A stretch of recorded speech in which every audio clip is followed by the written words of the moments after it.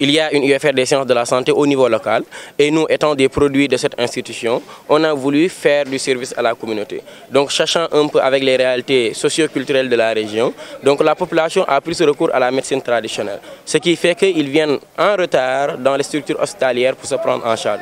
Et ceci fait que quand ils viennent, parfois l'hôpital ne peut pas faire grand chose et les gens parfois ils sont découragés pour venir à l'hôpital. Donc nous, on s'est donné comme mission d'aller vers la population, les aider à travers la sensibilisation, leur faire comprendre que les maladies chroniques telles que l'hypertension artérielle, le diabète ou même l'incidence rénale chronique en rapport avec la phytothérapie peuvent être évitées rien que par la sensibilisation à travers des mesures hygiéno-diététiques. Donc c'est tout le sens de notre manifestation, mais en même temps on fera des consultations gratuites et des dons de médicaments pour un peu assister la population. Tout ceci dans le cadre quand même de montrer l'importance de l'effet des sciences de la santé dans la casamance naturelle.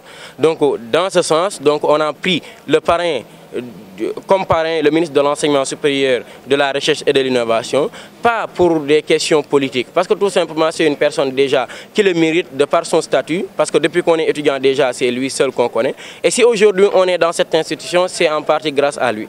Parce qu'on est la première promotion campusenne, donc au début on pensait que Giguinchor, ce n'était pas la meilleure des choix, mais aujourd'hui je pense que tout le monde est content d'être venu à Giguinchor, et j'ai le réel plaisir de vous dire que si c'était à refaire, tout le monde allait faire exactement la même chose. Et je pense que ça, on l'a eu à travers lui. Au-delà du fait que c'est quelqu'un qui a un parcours exceptionnel, quelqu'un qui a une humilité exceptionnelle et qui nous permet d'apprendre tout le temps de, de lui. Donc je pense que c'est tout l'essence de cette activité. Je dirais aussi en même temps qu'on a choisi comme marraine une professeure qui est la professeure Awa Omar Touré, donc de l'UCAD, qui vient aussi naturellement chaque année nous dispenser des cours, donc qui nous donne beaucoup de conseils et qui a fait de cette institution ce qu'elle a aujourd'hui. Donc je pense que c'est tant de personnes de valeur, aussi l'homonyme Moussa Fafa qui ont fait aujourd'hui de l'UFR ce qu'elle est, à travers leurs aides, à travers leur intervention pour nous dispenser des cours et pour faire de nous des médecins aujourd'hui.